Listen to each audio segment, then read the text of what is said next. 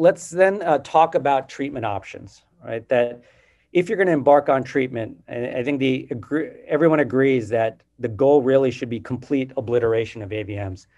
There are certainly some exceptions in the literature about partially treated AVMs um, and how they may be utilized in certain situations for intractable, uh, you know, otherwise not non-operative or, or non-radiosurgical Uh, AVMs but those are few and far between. In general, our goal really should be complete obliteration of the AVM if we're going to undertake treatment. So the options that I want to briefly talk through are the idea of observation, microsurgery, stereotactic radiosurgery, and endovascular. Right, endovascular used as an adjunct, and an endovascular used for for cure.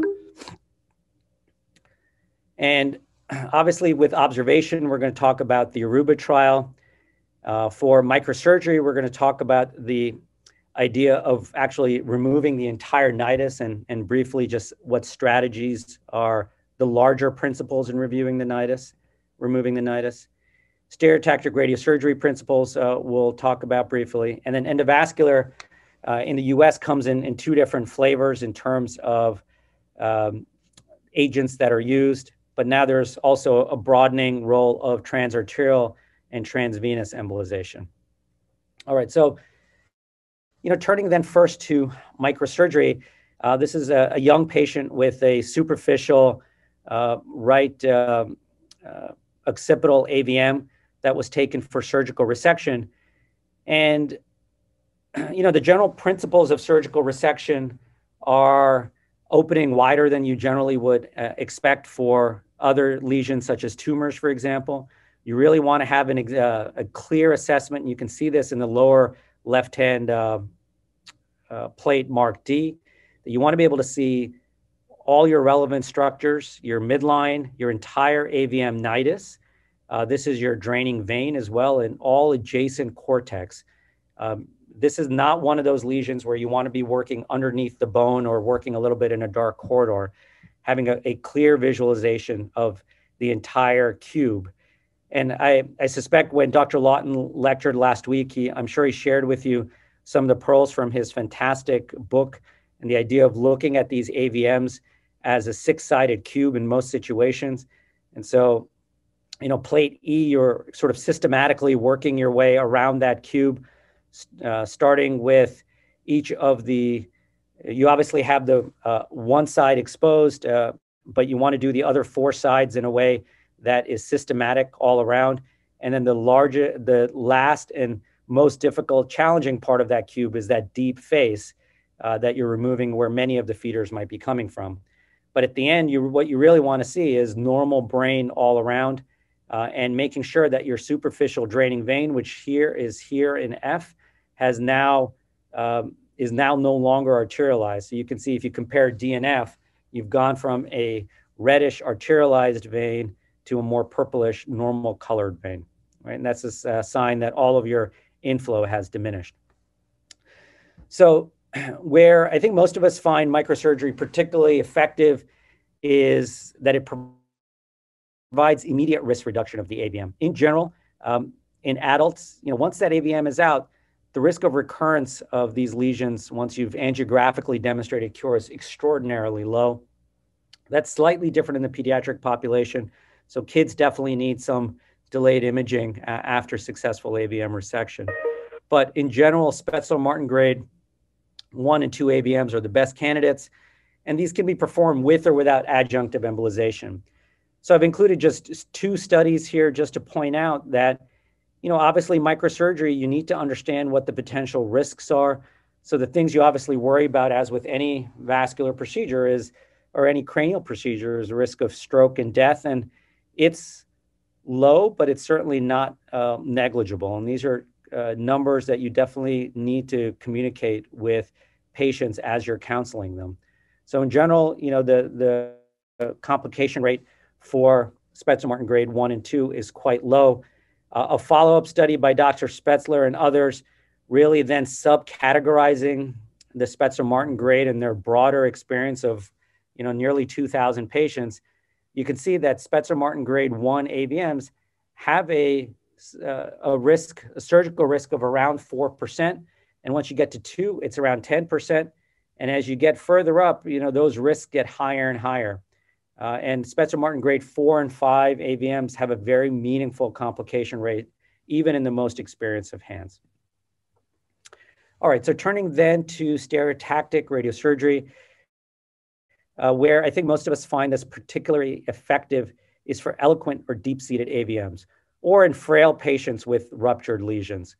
But the idea here is uh, similar regardless of which of the two uh, general systems you're using. Uh, I'm sure most of you are familiar with the idea of either Gamma Knife or linear accelerator uh, or LINAC. But regardless of the medium, whether it's cobalt or uh, accelerated electrons, uh, the, uh, the principle is the exact same, is that you're using a arc-based system with multiple inputs of targeted radiation that reduce radiation dose throughout the entire brain, but focus your radiation dose in a very narrow focal segment uh, at the AVM.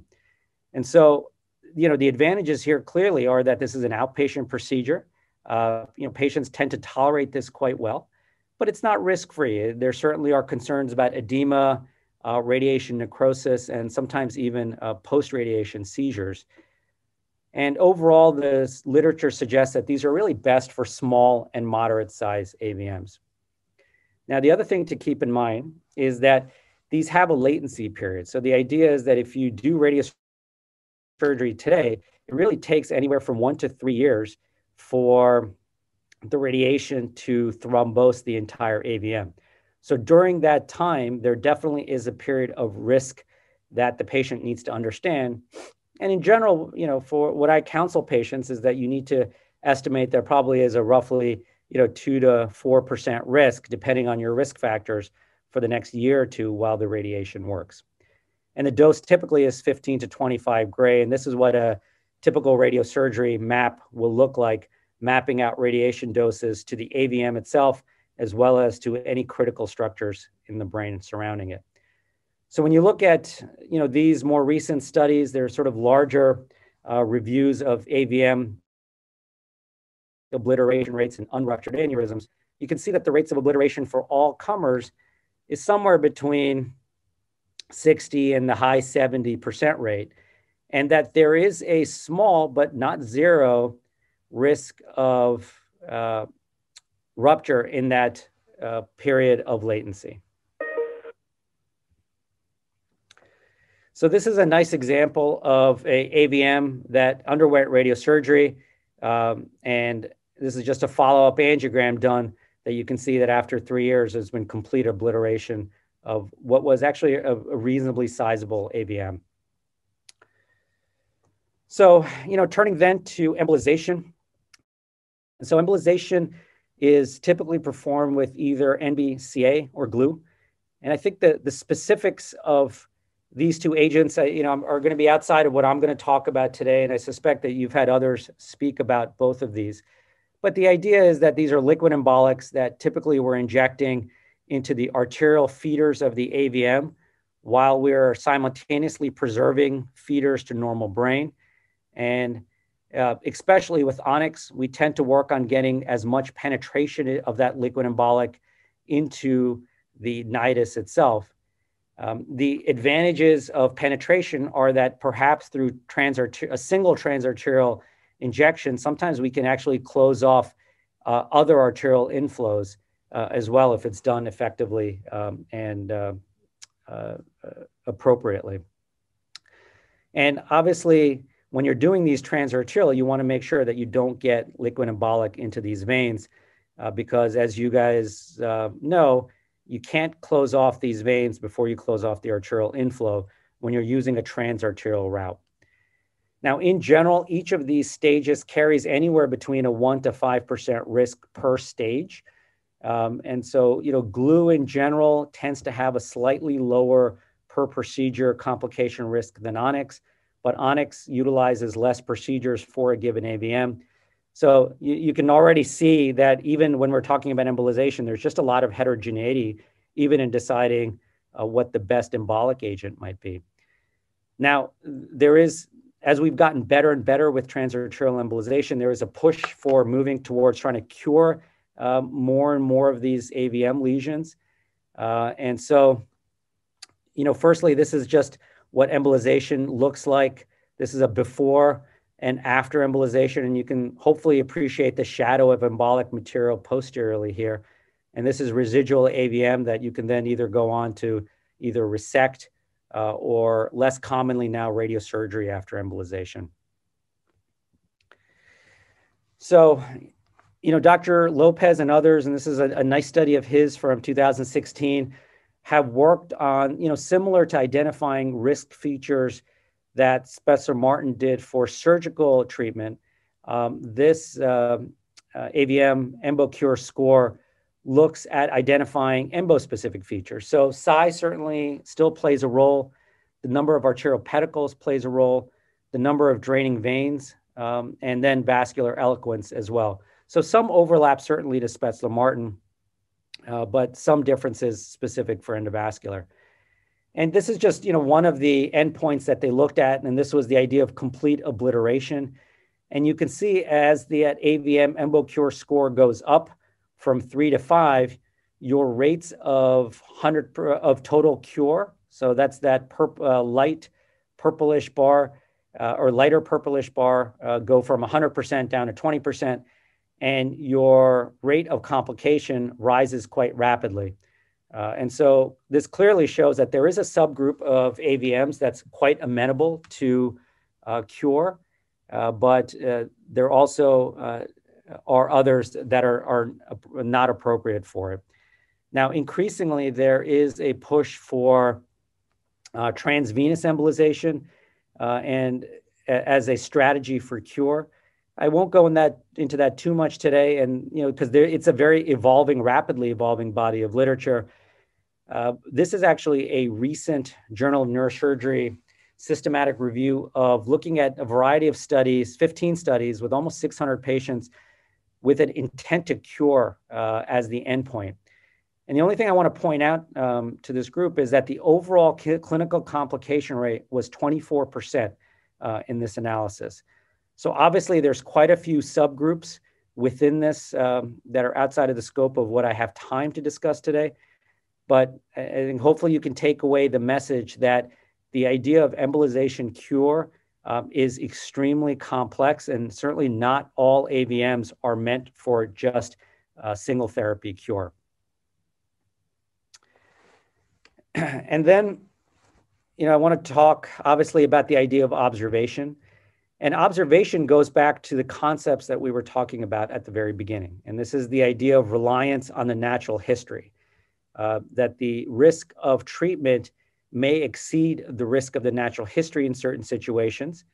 And so typically, I think we would think of observation um, being, or that ratio being f- uh, favoring the idea of observation in older or more frail patients, uh, AVMs located in highly eloquent or deep locations, and then certainly the higher grade uh, AVMs.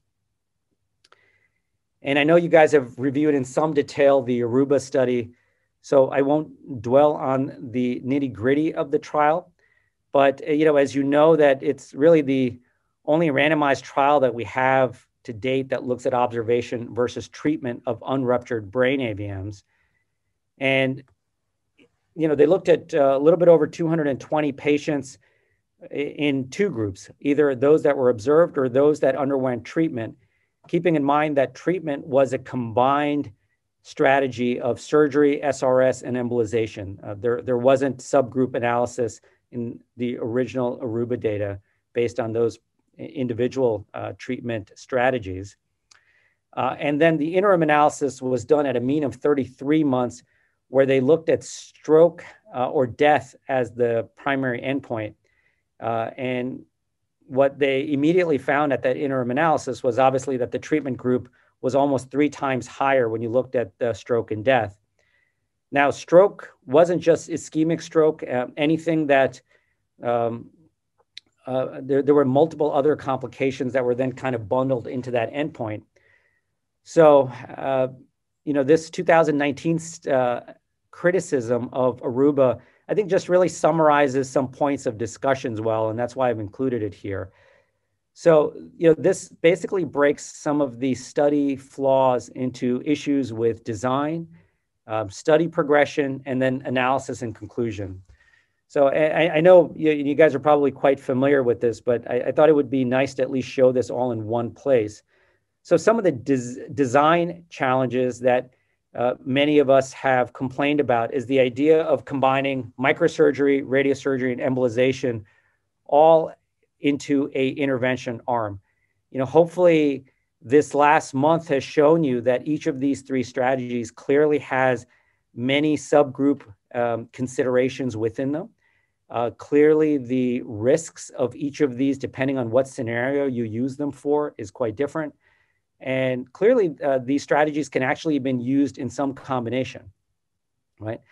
So the other big study issue was what I'd mentioned earlier, and that is this inclusive definition of stroke or this overly inclusive definition of stroke, uh, that many things that were not necessarily stroke in terms of a complication uh, were included into that stroke bundle, leading to uh, a meaningful overestimation of stroke risk per se from the interventional arm. And then if you look at study progression, uh, the recruitment itself was extraordinarily slow. Uh, and part of that was that, you know, many of the centers where this trial took place, you know, had challenges actually placing patients into the trial for the following reasons that you know a high number of eligible patients were not randomized uh, in the original intent or the way that the original um, uh, creators of the trial intended, and this led to a very early selection bias. There were an oddly small percentage of low-grade AVMs that were treated with microsurgery. Uh, that made you know many of us in the cerebrovascular neurosurgical community question whether this was really representative of the kinds and numbers of patients that we were seeing in our offices uh, and the discussions that we were having with our patients and the way that many of these patients we know are getting treated at many centers across the US and Europe. And then the other shortfall, obviously, is that 33 month um, analysis uh, period. That was obviously an interim analysis, but you know, as I've shared with you, when we talk about AVMs, we really are kind of talking about this idea of lifetime risk of hemorrhage. Uh, and so 33 months clearly is well short of any meaningful uh, longer term risk of hemorrhage uh, for an untreated, unruptured AVM. And then lastly, this uh, challenges with analysis that, you know, the, there wasn't really any meaningful subgroup analysis evaluating different outcomes of different treatment modalities. And so I think misleadingly, there was a conclusion early on of the superiority of medical management. So, you know, with that, I, I, I think the flip side is also very important for all of us to take away that every trial, whether it's negative or a trial that we uh, potentially disagree with some of the conclusions, you know, there are, I think, three very important takeaway points that all of us learned from Aruba that were extremely helpful in, in how we approach patients. So Aruba did confirm for us what I think a lot of our pooled analysis also showed is that in general, the natural history shows that the rupture risk is approximately 2% per year. Uh, Aruba confirmed for us that clearly a low complication rate with any intervention is key to a genuine patient benefit, right? And I think this point cannot be overstated that as a practitioner, um, all of us need to be very honest with ourselves in terms of what are the treatment strategies we're most comfortable with. Uh, since we're the ones treating that particular patient, you know, the idea of, you know, in my hands, this is the complication risk with surgery or endovascular or radiosurgery. And you have to approach your patients with your numbers, your low numbers, but your numbers in mind as well. And keeping those complication rates low is very important as you look at that natural history uh, versus treatment risk benefit ratio. And that observation clearly cannot be discounted as a strategy. There are um, many patients that fall into this observation group uh, that we talked about uh, eloquent patients, deep AVMs, um, elderly and frail patients, where their life expectancy or the treatment complication risk just may not rationalize uh, undergoing anything more aggressive. Everyone, Ryan Rad here from neurosurgerytraining.org. If you like that video, subscribe and donate to keep our content available for medical students across the world.